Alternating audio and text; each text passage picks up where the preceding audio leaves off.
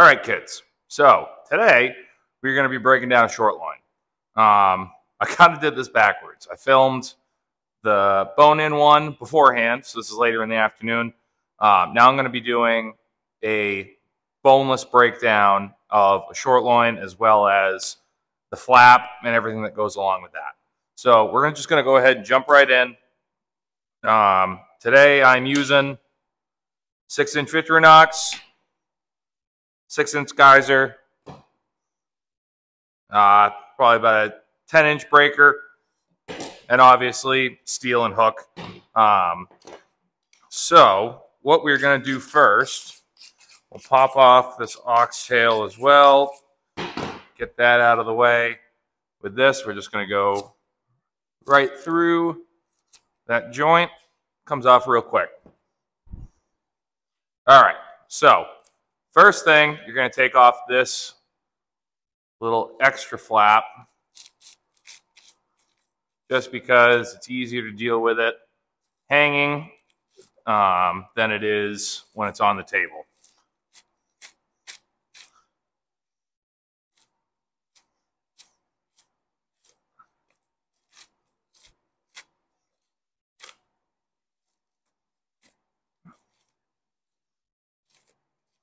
All right, so first we're going to pop this flap off. Um, so this includes the flat meat, which you get your steak tips out of, and the flank as well. So first we're going to take this big old chunk of fat off and try not to cut the tri-tip.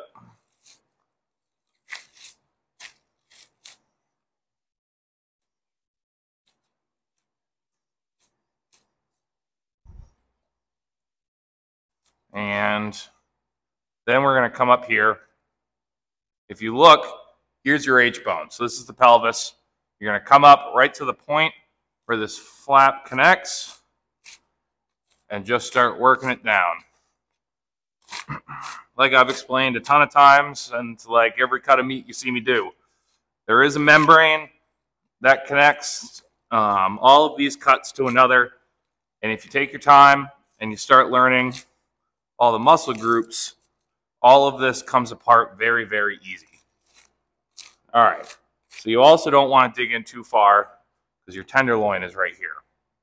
So what I like to do is have it spun around like this. You're going to see, I'll spin it so you can kind of see it. This is the end of your tenderloin down here.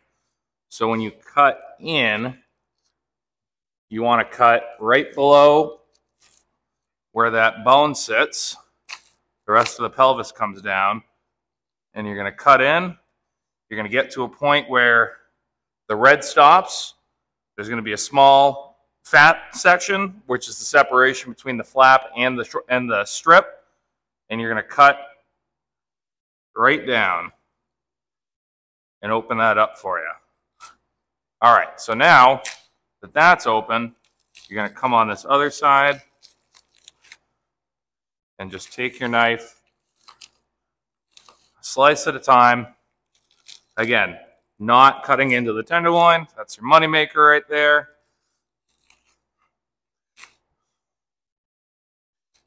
And just work it all the way down. You're going to pop all the suet off as well. And it's going to bring it all the way down. And what you're going to be left with is this bone that stays on when you're breaking off, um, whether you're doing quarters, where you're breaking off the rib um, and the whole forequarter from the animal, or you do like I do and break the chuck and shoulder off and then break the rib off separately. You leave one rib here and just slice that right open. All right, so now you're left with the short loin. I'm going to go ahead and switch back over to the Victorinox Flex Steel because this is where it gets a little more interesting. So, and I mentioned this a little bit in the deer processing video that's going to be coming up before this. Most people do not pull out all of the tenderloin. The tenderloin actually starts up here, up by the sirloin. Most people just pull it out, if it's a deer, pull it out here. So what we're going to do, we're going to, right where this H-bone is, put our knife in and open it up and go down either side using your meat hook. There's a section here. You see there's that meat, then it's fatty, and curl around. And you're just going to start pulling down and open it up. You're going to open it up till you get to the point where this is the bottom of the pelvis. Uh, this is where your sirloin sits. So what we're going to do is as soon as you get to the bottom of that, you're going to take your knife, put it right under it, follow that bone out. Come back around on this side,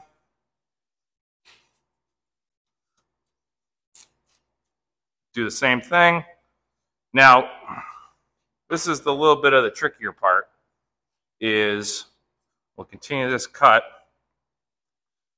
If you're breaking down any ungulate, or any, what's the word I'm looking for here? Basically any beef, pig, lamb, any of them, you you can see where the spine space, the spine is straight and it starts to curve. Right at that curve, you're going to cut in between that vertebra right there, which allows you to then just snap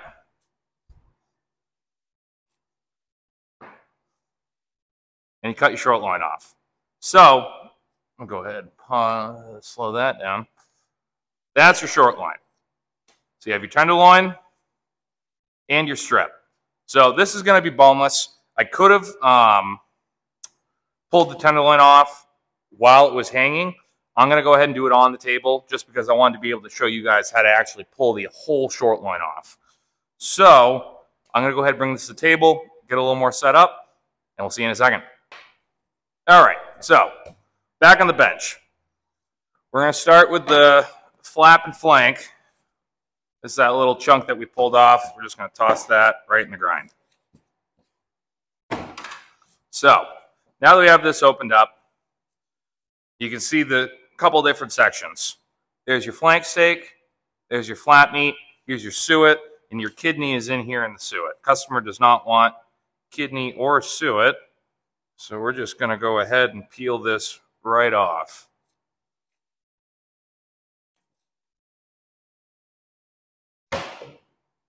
Trim off a little bit there so we're not wasting anything. All right. So next up with this, we're going to separate the flank from the flap.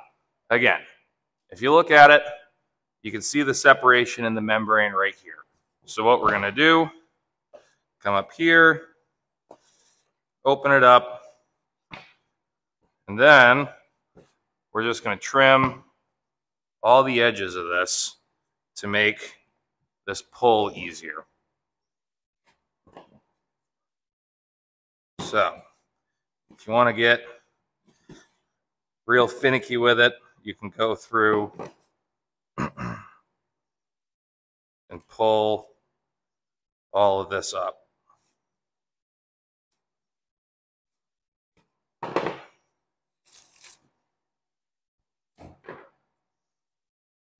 So now that we have this all trimmed up, we can start pulling the membrane. There's a membrane on either side of this. One's a lot thinner. You can just pull it off like that. This side's a little bit thicker, has a little more fat and tendon to it. So, might take a little bit more. Once you get it about two thirds of the way down, take your knife, just use the tip of it, score it, and pull. That's clean trim this up a bit. Customer does not want this, so I am just trimming it up, trimming it up purely for your viewing pleasure. So, there's your flank steak. Use that for fajitas. Toss it on the grill. It is delicious. This customer would like it as hamburger. So there it goes. So, now we're working on flat meat. So once again, I'm going to go through and just kind of trim up all the corners of this to make this pull easier. Because once again, there is a membrane on it that we're going to pull off. When you pull this one off, there is going to be a chunk of flap that's going to come up with it. It is not connected to the rest of the flat meat. It's just an extra, extra belly muscle in there that we're going to pull right off.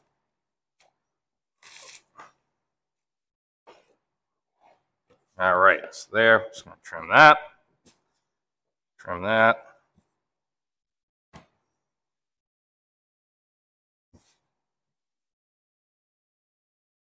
Toss that right in the grind.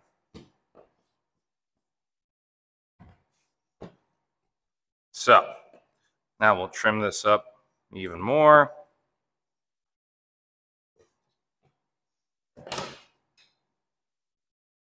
Take the rest of this fat off the top.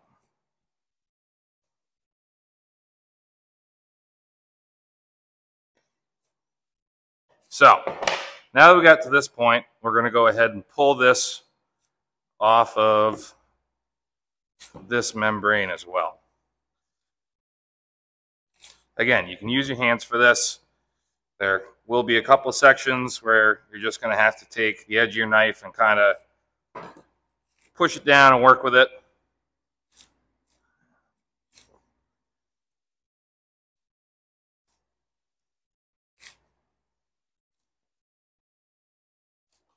I am not in frame. Look at that. Big struck, everybody.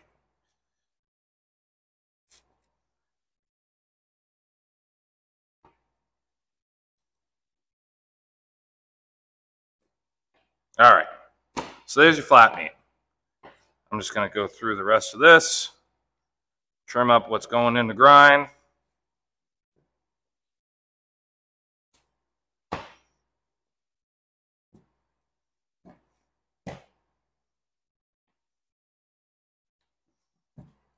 Leave a little bit of fat on that for a better grind. All right, so now we have the flat meat. If you've ever gone to a steak tip house and gotten marinated steak tips, 99% of the time, this is where it comes from. I have cut, I couldn't even put a number on how much flat meat I've cut. So we're just going to go through, pull this membrane off and denude everything. It's a fun word I don't know if I've used on here before.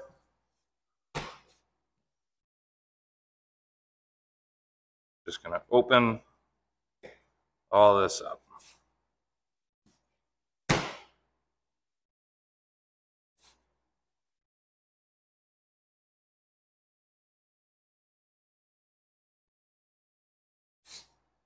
All right, so then let's slice that in half. Cut a little bit of an angle. Now you got some steak tips. Try not to slice myself on these knives that I put in the wrong spot. All right, so I'm going to change this glove.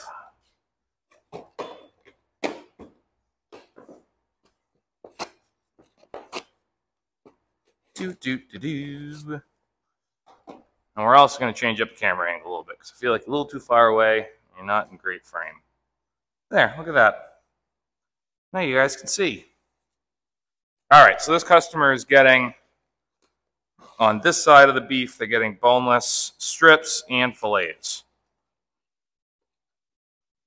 So, what I'm, I'm going to do, we'll flip this this way, and we're going to position the butt tender, which is this, up towards here, and just work our knife around the spine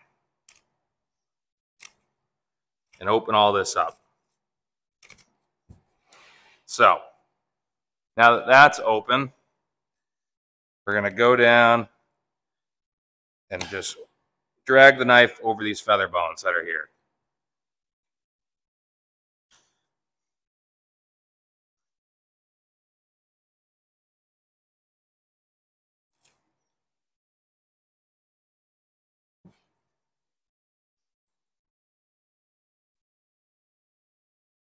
We're going to try and obviously keep as much meat on the primal as we can and get as much as we can off the bone.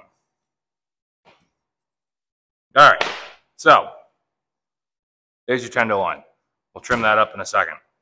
So what I'm going to do is finish trimming this up a little bit and I am going to cheat because I do have a bandsaw. I guess it's not really cheating because I have, do own a butcher shop. But if you were watching this for the first time trying to figure out how to do a beef at home, what you can do is obviously, again, you can just make your cut here, hit these feather bones along the side, um, and just get it all set. What I'm going to do is I'm actually just going to chine this. So I'm going to take it on the bandsaw, and you can see this little knuckle right here. I'm going to cut on the bandsaw at an angle and take this whole chunk of spine off, which will make it easier to take off these feather bones and the rest of this spine. So I'm going to run over there. I'm not even going to stop the camera. I'm just going to run over, do this real quick. We'll see you in a second.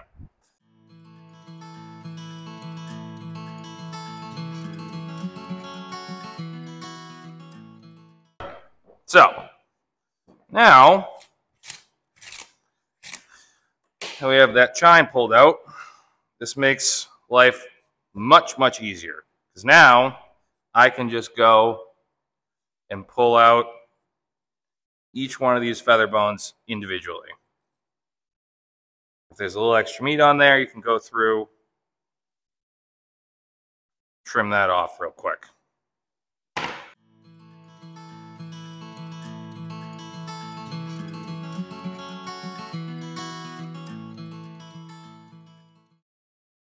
All right, so, and then what we have are these, the rest of the spine right here. And just take a knife, work behind all that.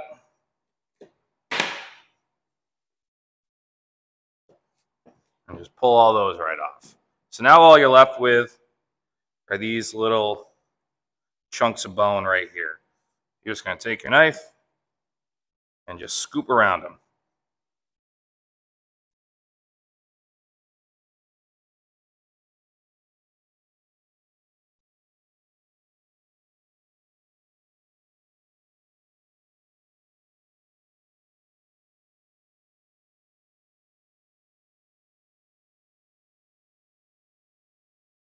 So if you've ever bought a whole primal of a strip at a grocery store and you've always wondered what these little divots are, now you know.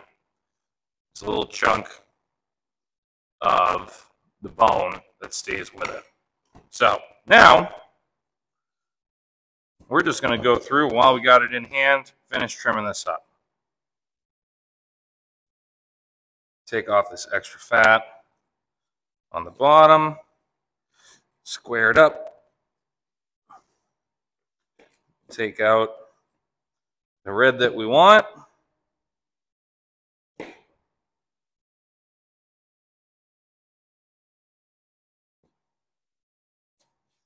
Toss that in the grind. We'll flip it over. As you can see, there is a bit of a tendon right here. So what I like to do, just take that corner,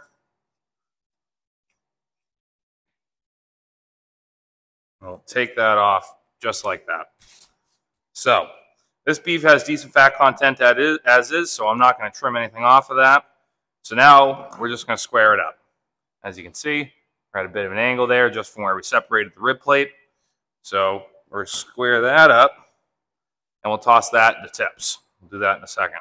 This customer is getting inch and a half steaks.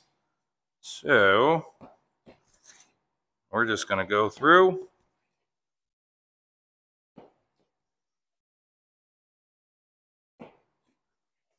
break all these steaks down.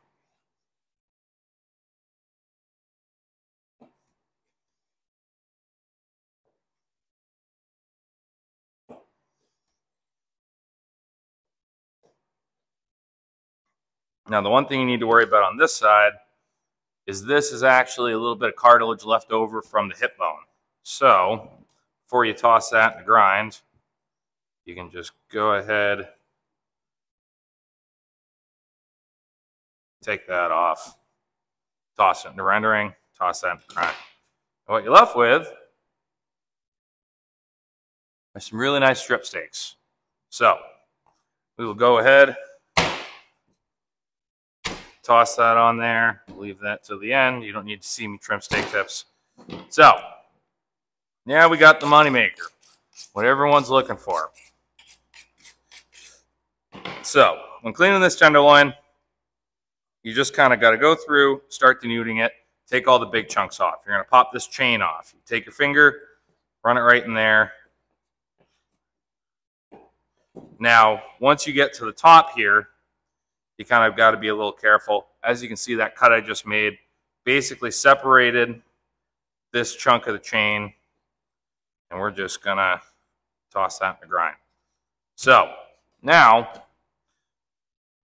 we're going to take off the rest of this fat that's around here and be very careful with it.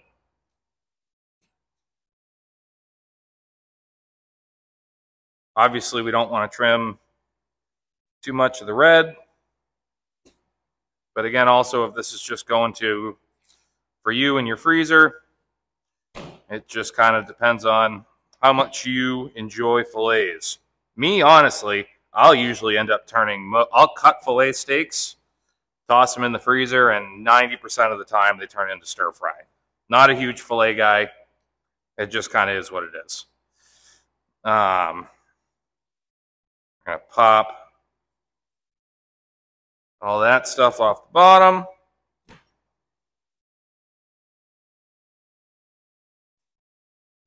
So now comes for the magic tricks. Just trimming that a little bit. So as you can see, there is a bunch of silver skin on the top of this, and we do not want that. So what we're going to do, we're going to make an incision down here where it tapers off and just work the knife up. If you work the knife from the smaller end to the larger end, you'll get a nice smooth cut up. The meat will not get all torn up and gouged. It'll be nice and smooth. And to show you, I'll go ahead and cut this off. You see when you start cutting the other way, it starts to tear up the meat and gouge it a little bit. So, now, just going to finish tearing out the rest of this silver skin. Now, when you trim this much, of the silver skin off, you do end up with slightly wonky uh, butt tender fillets. I think it's worth it. It's one of those situations. Will it be a perfect restaurant quality um, fillet? No, but guess what? It's going to be delicious and it won't be chewy. So we'll go ahead and pop that off. We'll toss that right in the tips. So they once again want these inch and a half. So we'll just start breaking these down.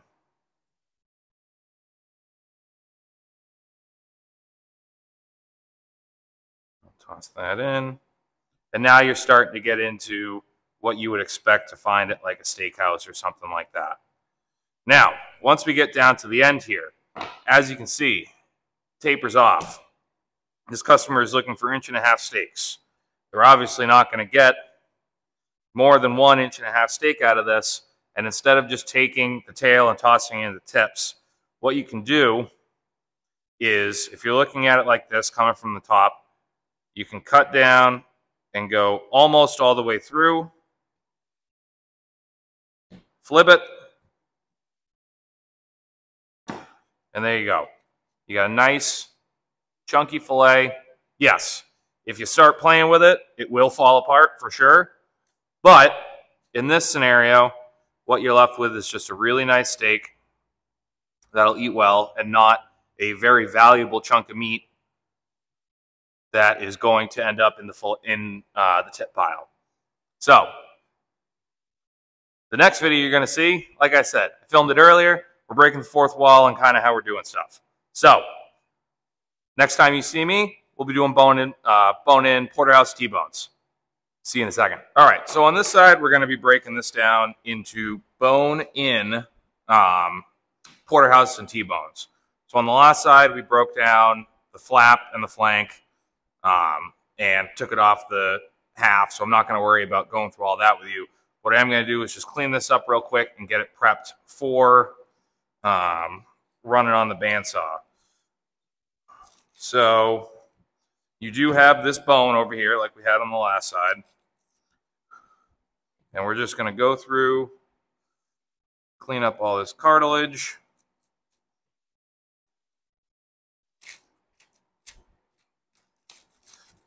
Now this animal did tender up quite a bit. Um, this this was an intact bull that they had on a mountain. So, uh, and it was a bit of a runaround to get him. He ended up breaking out of his pen, and uh, we kind of had to walk him down a little bit. So he was a little tough going in the cooler, but I am pleasantly surprised how he uh, tendered up a little bit. I'm not too worried about cleaning up the butt part of the tenderloin yet because that's going to get cut off and we're going to clean that up on its own.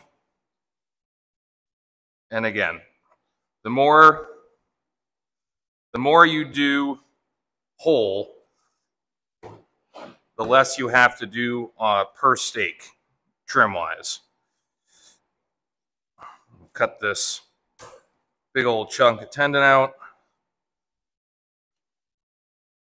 Beautiful.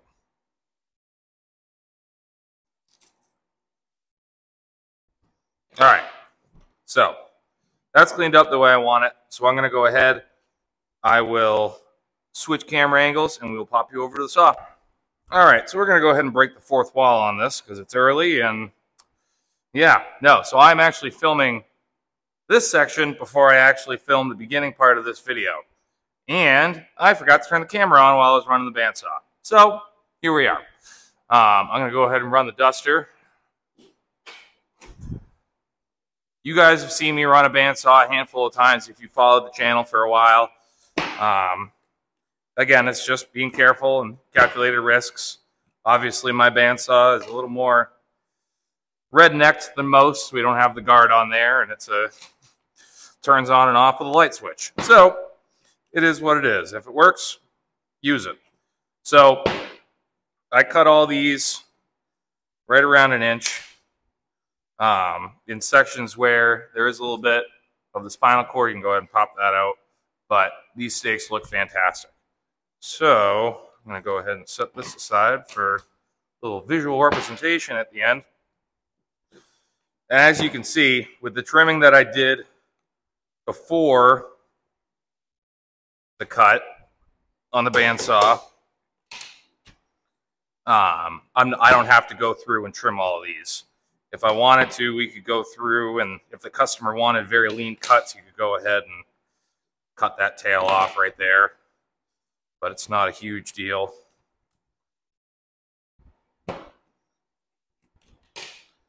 All right, those are all your porterhouses.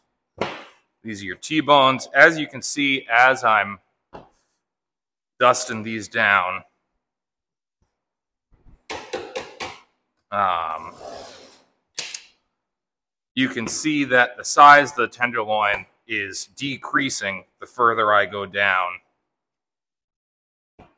on the um, on the cuts to where you will see in a second when we get to the last T-bone there will be almost no tenderloin on the actual steak itself.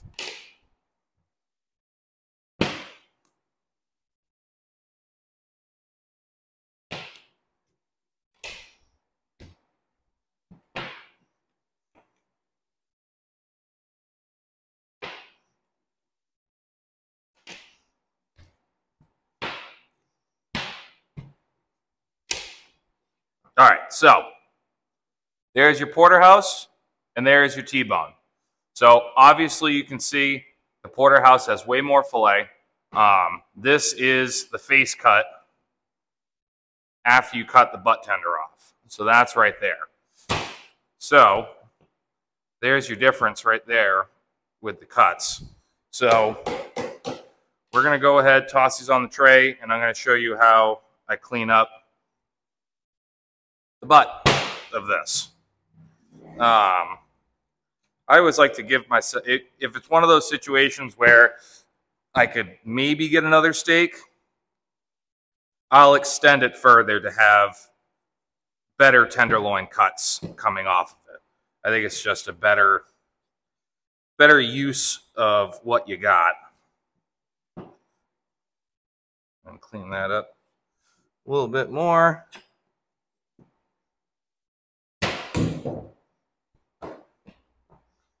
Clean this up, toss in the trim.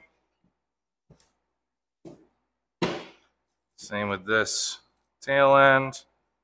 I'm actually going to go ahead and toss this guy into tips.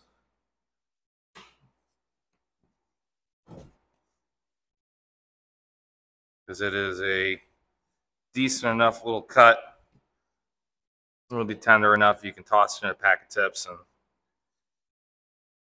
it'll be very delicious and tender. So we're to go ahead and toss that there, toss that in the grind. All right, you got your butt end of the tenderloin. Go ahead, hone up a little bit. So what we're to do, I grab this section of fat right here, and that's where I start my trimming.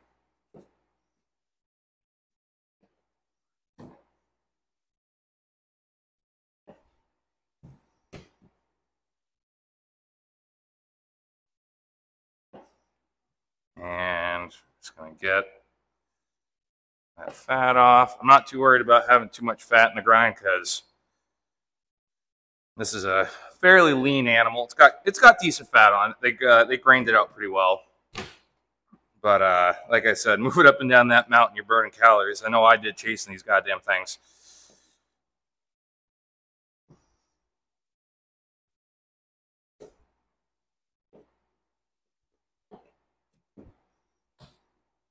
All right, so as you can see, there's this flap that comes over the top of this. So what I'm gonna do is just use the corner of my knife, kind of open it up a little bit. Now, if you wanted to have perfectly uniform steaks, you could not worry about popping this membrane off. I would much rather have no membrane and have a little bit of a wonkier steak because guess what? It's all going to eat the same. So now that you have this, I'll worry about the bottom side after. If you were to take your knife and go this way towards you with it, what it would do is it would pop up um, and not look as nice. So what you can do, start at the end here, and again, this is a reiteration of the whole tenderloin that I just showed you. And just move it forward. Pop that down.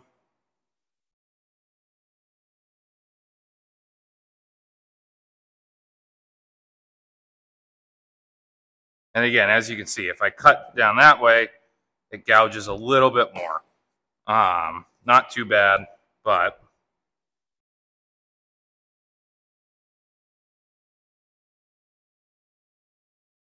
take this out down here.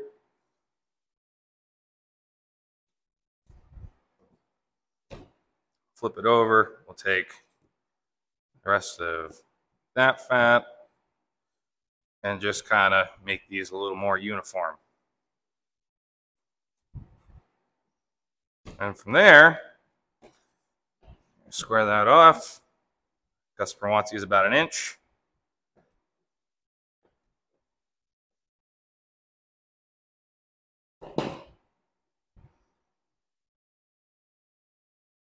Now, you have some nice filet mignons. So, I hope this video was helpful, helpful to you guys.